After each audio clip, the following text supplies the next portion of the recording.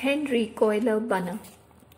Henry Cuyler Bunner was an American novelist, journalist, and poet who has written feelingly about the benefits of planting a tree.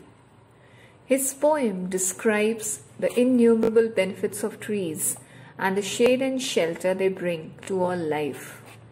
He claims that people who plant trees plan for a future and for people they do not know. On another level, planting a tree is a symbolic act of goodness, one from which many other acts of goodness will sprout.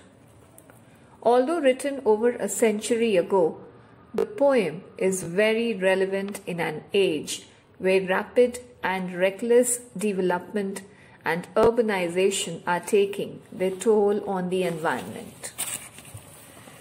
The Heart of the Tree by Henry Cuyler Bunner. What does he plant who plants a tree? He plants a friend of sun and sky. He plants the flag of breezes free, the shaft of beauty towering high. He plants a home to heaven anigh.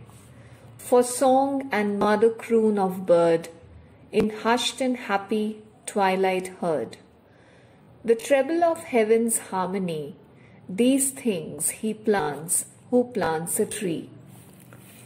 What does he plant who plants a tree?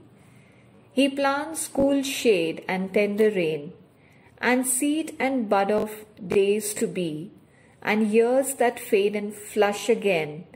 He plants the glory of the plain. He plants the forest's heritage, the harvest of a coming age, the joy that unborn eyes shall see. These things he plants who plants a tree. What does he plant who plants a tree? He plants in sap and leaf and wood, in love of home and loyalty, and farcast thought of civic good, his blessings on the neighborhood who is in the hollow of his hand, holds all the growth of our land, a nation's growth from sea to sea, stirs in his heart who plants a tree.